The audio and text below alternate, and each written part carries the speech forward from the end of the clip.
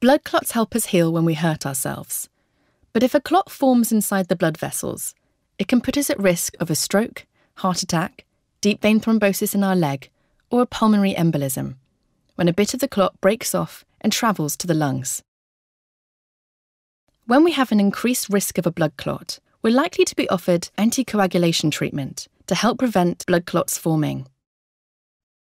Anticoagulants can also stop existing blood clots from becoming larger.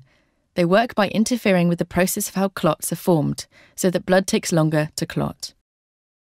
Sometimes the risk of a blood clot increases when we have certain conditions, and there are different anticoagulant medicines available to help. Warfarin and more recently direct oral anticoagulants, or DOACs, they can be used to prevent blood clots in AF, clotting disorders, after knee or hip replacement surgery, and to prevent and treat DVT and PE. They work in a different way to warfarin, and you do not need to have regular blood tests to monitor them. If you have a mechanical heart valve, warfarin is the only one that you can take, as the others are not licensed for this condition. Warfarin patients can also use a handheld device at home that uses a pinprick of blood to give a result known as an International Normalized Ratio, INR, that tells the clinic if the dosage needs changing. All of these anticoagulants are taken by mouth. Heparin's another type of anticoagulant, given by injection. It can be used if oral anticoagulants need to be stopped, for example, because of surgery or pregnancy.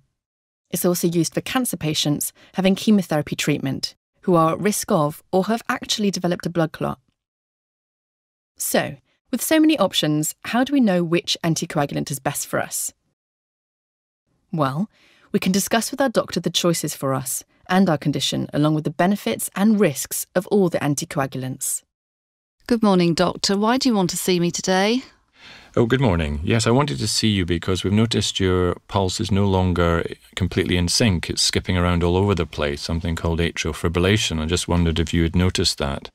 Well, no, I haven't actually. Gosh, this has really come as a surprise. Uh, well, it's good that you're not bothered by it at the moment, and um, that's fine. But I'd be failing you if I didn't mention that because it's skipping around all over the place, there's a small risk of a clot forming in the heart, and we don't want that shooting off and causing mischief like a stroke. So we need to have a discussion about thinning your blood down with uh, an anticoagulant. And I just wondered if you'd heard about anticoagulants or blood thinners before. Well, yes, I, I have heard about blood thinners, but can you not just do something to make my heart go back into tune again? Yeah, there are various options to try and doing that, but uh, there's always the risk of your heart flipping back to the funny rhythm. So we do need to think about thinning your blood down long term just to prevent the clots forming there. So I need to discuss with you the range of options that are open to you now, and that includes drugs like warfarin, 10, 15 years ago, we thought that aspirin was adequate to prevent the clots forming in the heart, but we now know that's not the case. So, for most people, um, it's anticoagulation that needs to be considered. Um, but the good news is that there's a whole range of options for that. So, let me just briefly tell you about warfarin. It's been around for a long time.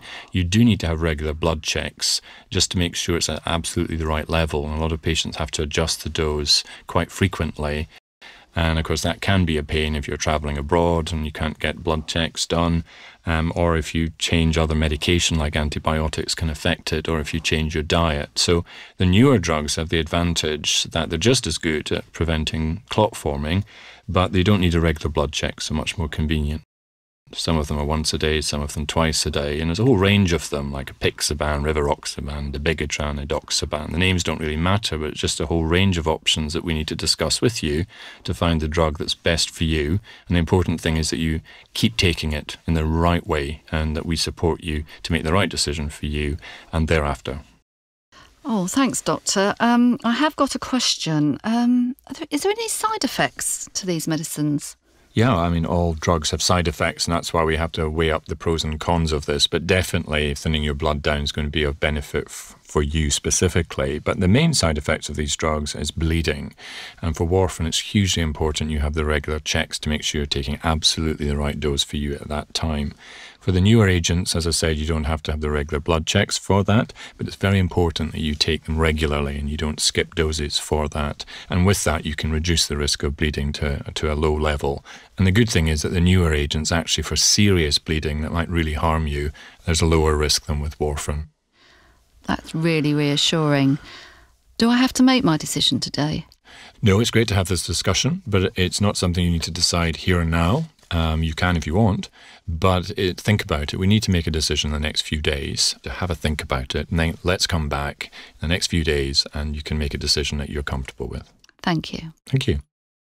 So the treatment is decided jointly between patient and doctor. The important thing is to get the right treatment at the right time to suit each one of us as individuals. Remember, anticoagulants are effective and can reduce the risk of blood clots and stroke.